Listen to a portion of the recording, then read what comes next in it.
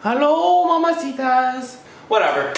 Hey, fuck boys and fuck girls. We got another episode of Simon Christopher's DIY Guide to Health, Wellness, and Being Great, where I'm gonna teach you more cost-effective ways to have a great life. Like me, with my green walls. And my things. My mom hates that painting. Uh, she also hates my green walls, so what the fuck can you do? Today on the show, I'm going to teach you a cheap and effective way to rid your stupid gangly body of some of your less fortunate looking tattoos. Now, if you can't tell, this is sandpaper. You guys thought I didn't give a fuck before,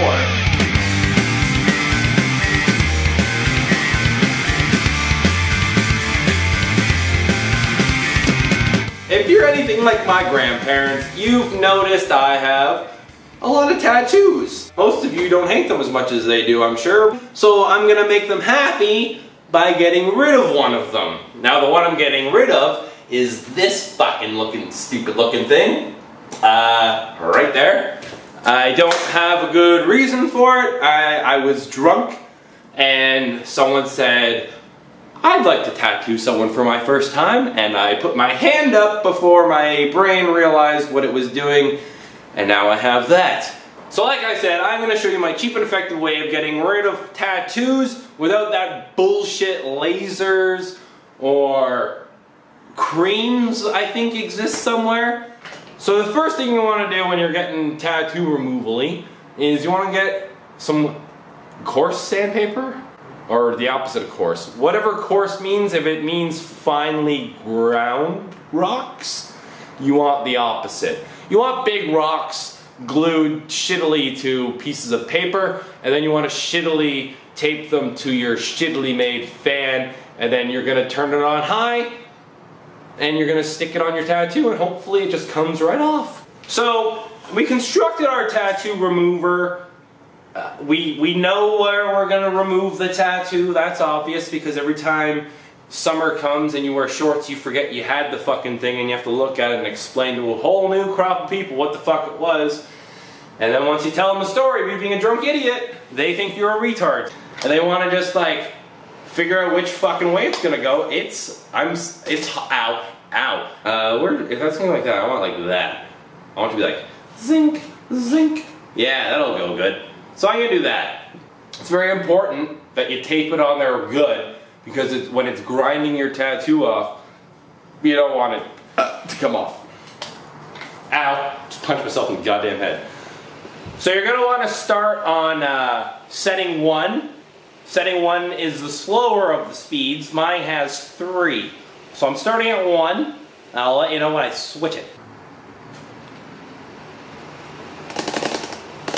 Ow. Oh, setting one's kind of weak. It is kind of taking off the skin a little bit. Ow. That really hurts. Ow. Setting one didn't do too much. A little of that. Ow. Ow. Ow! Ah, you fucker. You gotta let the motor speed up a little bit.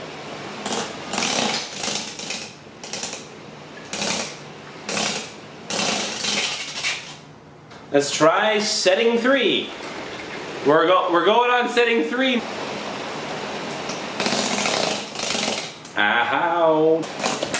Oh, oh God. It's very important that you tape it on there good. Oh, because it's, when it's grinding your tattoo off, oh, you don't want it to come off. Let's gonna do a quick little repair. For what it's worth, my leg is fucking on fire. Ow. Feels great, man. Feels like there's fucking nothing going on at all. Ah. Oh, God. Damn it.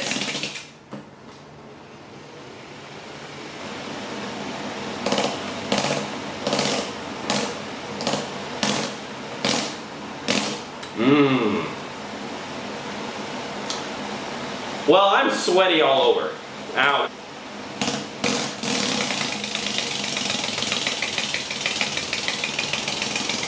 It's a nice little sweet spot there. I mean, it is slowing it down, but it's also continuous and very painful. I will admit, it's very, very painful to have um, to have sandpaper doing that. It does not feel. I am fucking sweating. Um, well, this shirt is fucking drenched. So as far as tattoo removal goes, I don't think one session is the way it goes because you get you have to change the uh, sandpaper from time to time because it, it, just it just stops working after a while, and uh, well, my leg is just on fucking fire. So this is what one treatment of Simon Christopher, holy fuck, there's chunks of skin on there. Simon Christopher's DIY guide to wellness and, whatever I call it. Um, here's, here's what my one treatment looks like so far. So that's what your tattoo will look like after a solid treatment of Simon's DIY guide to wellness and tattoo removal. Uh, it looks pretty good. I'm not upset with it so far. Uh, it's got a lot of work to go, but I, I really hope that one day I will get there. And that day is right now. Ow. Ow.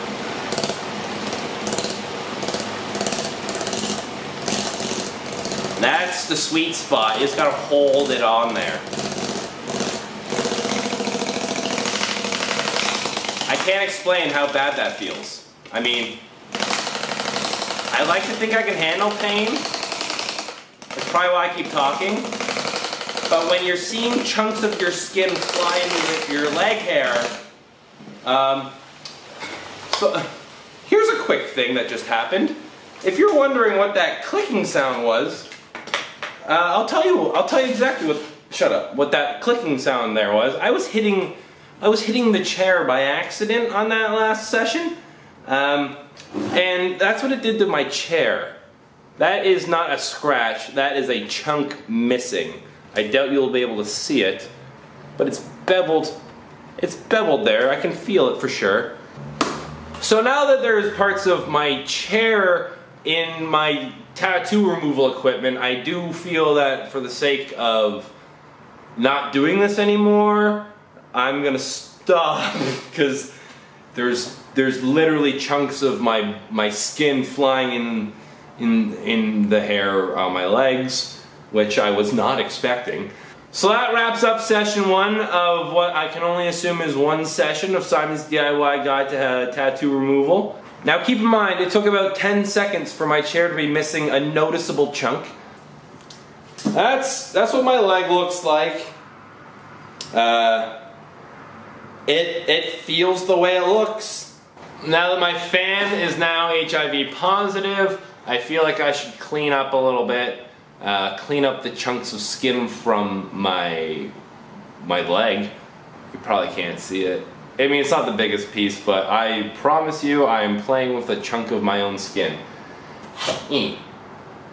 Um, thank you guys for tuning in to another episode of Simon Christopher's DIY Guide to Health and Wellness. I don't know what I just said. My leg is on fucking fire. There's blood on my ankle. That's what your tattoos should look like. If you don't like them, I don't like mine. So I did that to it.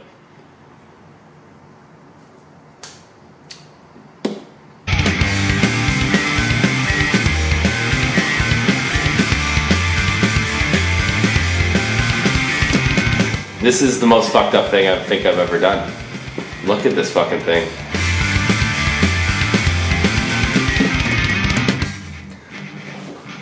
Just a quick little update. I rubbed my hand up my leg, and uh, and there's there's whatever the fuck. I don't that that's not part of my finger. I don't know what that is. I don't feel good about it. Dope.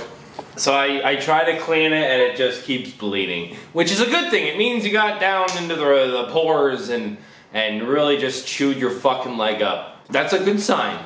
Uh, This episode took a fucking weird turn. So don't touch it after. After you clean it, don't poke it with your hand. It doesn't, it, don't. That's uh, another, that's your aftercare tip. Don't touch it after pain. So I just found out that I don't have any ointment or bandages or anything. Uh, and you'd think someone like me would be a little more prepared for that type of thing, but uh, nope. I got fucking nothing. I'm bleeding on the floor. So just, uh, just about to start editing the video that you just watched, which is weird because I haven't even started editing it yet. So I filmed it Friday, I think. No, I filmed it Thursday.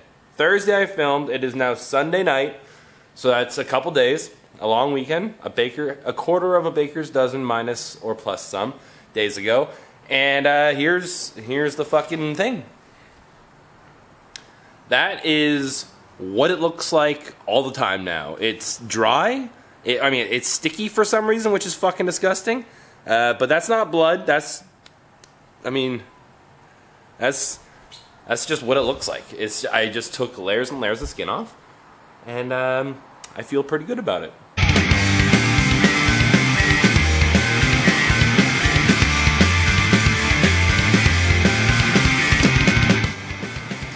Is there enough jokes in there? Yeah, there's enough jokes in there.